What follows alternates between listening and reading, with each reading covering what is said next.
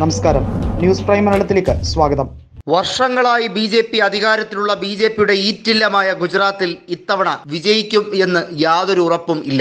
B J പിയുടെ general സെക്രട്ടറിയും അതോടൊപ്പം തന്നെ ബി ജെ പിയുടെ പാർട്ടി അധ്യക്ഷനും ഗുജറാത്തിൽ ഇടറുകയാണ്. ശരിക്കും പറഞ്ഞാൽ ഇതുപോലൊരു അവസ്ഥ ബി ജെ പിക്ക് ഈ അടുത്ത കാലത്തൊന്നും ഉണ്ടായിട്ടില്ല. നൂറ്റി എൺപത്തിരണ്ടിൽ നൂറ്റി അറുപത്തി ആറ് സ്ഥലങ്ങളിലും സ്ഥാനാർത്ഥികളെ നിർണയിച്ചു കഴിഞ്ഞപ്പോൾ അവിടെ സിറ്റിംഗ് എം എൽ എമാർ അടക്കം പ്രശ്നങ്ങൾ ഉണ്ടാക്കുകയാണ്. നിലവിൽ ഒരു സിറ്റിംഗ് എം എൽ എയും അതോടൊപ്പം തന്നെ പാർട്ടി വിട്ട നാല് എം എൽ എമാരും പാർട്ടിക്കെതിരെ മത്സരിക്കാൻ തയ്യാറാവുകയാണ്. വഡോദര ജില്ലയിലും അതോടൊപ്പം തന്നെ സുരേന്ദ്രനഗർ ജില്ലയിലുമൊക്കെ ശക്തമായ വിമതശല്യം ബി ജെ പിക്ക് ഉരുത്തിരിഞ്ഞു വരികയാണ്. സുരേന്ദ്രനഗറിൽ ഒരു സ്ഥാനാർത്ഥി ബി ജെ പി ടിക്കറ്റ് നിഷേധിച്ച വിഷയം മോദിക്കും അമിത്ഷായ്ക്കും ഏറ്റ കടുത്ത പ്രഹരങ്ങളിൽ ഒന്ന് തന്നെയാണ്. വഡോദരയിലും അത്തരത്തിൽ ഒരു രാഷ്ട്രീയ സാഹചര്യം ഇപ്പോൾ ഉരുത്തിരിഞ്ഞു വരികയാണ്. വഡോദര ജില്ലയിൽ നിലവിൽ മധു ശ്രീവാസ്തവ എന്ന ആറ് തവണ ജയിച്ച ഒരു സ്ഥാനാർത്ഥി. ആ വ്യക്തി അദ്ദേഹത്തിന് സീറ്റ് നിഷേധിക്കപ്പെട്ടതിന്റെ പേരിൽ ശക്തമായ വിമതശല്യം ഉയർത്തിയിരിക്കുകയാണ് അവിടെ തന്നെ മധു ശ്രീവാസ്തവയ്ക്കെതിരെ ബി ജെ പി സ്ഥാനാർത്ഥി മത്സരിക്കുമ്പോൾ ബി ജെ പി വോട്ടുകൾ ഭിന്നിക്കപ്പെടും എന്നുള്ളത് മാത്രമല്ല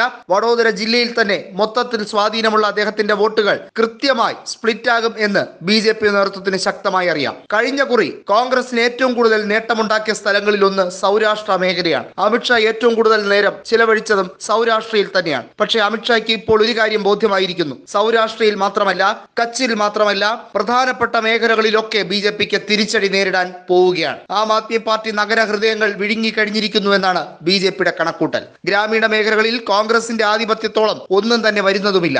അങ്ങനെ വലിയ രീതിയിലുള്ള നാശം ഇപ്പോൾ ബി ജെ പിക്ക് ഉണ്ടായിക്കൊണ്ടിരിക്കുകയാണ്. തുടർച്ചയായി നിരവധി തവണ ജയിച്ചതിന്റെ അധികാര ഹുങ്ക് ജനങ്ങൾക്ക് മേൽ വലിയ രീതിയിൽ അവരുടെ ഏകാധിപത്യ രീതിയുമായി ഫാസിസ്റ്റ് നയങ്ങളുമായി പൊരുത്തപ്പെടുത്തി മുന്നോട്ട് പോയപ്പോൾ ഇങ്ങനെ ഒരു തോൽവി ഭയം അവർ ഒരിക്കലും പ്രതീക്ഷിച്ചില്ല. അനായാസമായ വിജയമാണ് ബി ജെ പിയെ തേടിയിരിക്കുന്നത് എന്നൊക്കെയാണ് അവർ വിചാരിച്ചത്. പക്ഷേ അവിടെ തെരഞ്ഞെടുപ്പിൽ തിരിച്ചടികൾ മാത്രമാണ് ഇനി ഉണ്ടാകാൻ പോകുന്നതെന്ന് വ്യക്തമായി കഴിഞ്ഞിരിക്കുകയാണ്. സുരേന്ദ്രനഗർ ജില്ലയിലും വഡോദര ജില്ലയിലുമൊക്കെ ശക്തമായിട്ടുള്ള ഒരു ഭരണവിരുദ്ധത പ്രകടമാണ്. അതോടൊപ്പം തന്നെ സൂററ്റിലും ശക്തമായ ആധിപത്യം ആം ആദ്മിയും കോൺഗ്രസും നേടിക്കഴിഞ്ഞിരിക്കുന്നു. സൂററ്റ് നഗരസഭയിൽ ആം ആദ്മിയാണ് മുഖ്യ പ്രതിപക്ഷം. അതിന്റെ പിൻബലത്തിൽ തന്നെയാണ് പ്രധാനപ്പെട്ട നിയമസഭാ സീറ്റുകളിൽ മത്സരം കാഴ്ചവെക്കാൻ ഒരുങ്ങുന്നത്. പക്ഷേ അവിടെയും പ്രശ്നങ്ങൾ തീരുന്നില്ല. ഗോത്രവർഗ നേതാവായിട്ടുള്ള ഹർഷൽ വാസ്തവ ശക്തമായിട്ടുള്ള പ്രകടനമാണ് നടത്തുന്നത്. അദ്ദേഹത്തിന് സീറ്റ് നിഷേധിച്ചതുമായി ബന്ധപ്പെട്ട ശക്തമായ പ്രകടനം കാഴ്ചവെക്കാൻ ബി ജെ പിക്കെതിരെ കഴിഞ്ഞു എന്നുള്ളത് എടുത്തു പറയേണ്ട കാര്യമാണ്. ബി ജെ പി നേതൃത്വം വിറങ്ങലിക്കുന്നതിന്റെ പ്രധാനപ്പെട്ട കാരണങ്ങളിൽ ഒന്ന് ഗോത്രവർഗ വോട്ടുകൾ ബി ജെ പിക്ക് ഇക്കുറി പരമ്പരാഗതമായി കിട്ടിക്കൊണ്ടിരുന്നത് കിട്ടില്ല എന്ന് ഉറപ്പിക്കുന്നത് കൊണ്ട് തന്നെയാണ്. പിന്നോക്ക വിഭാഗങ്ങളെയും പ്രത്യേകിച്ചും ദളിത് വിഭാഗങ്ങളെ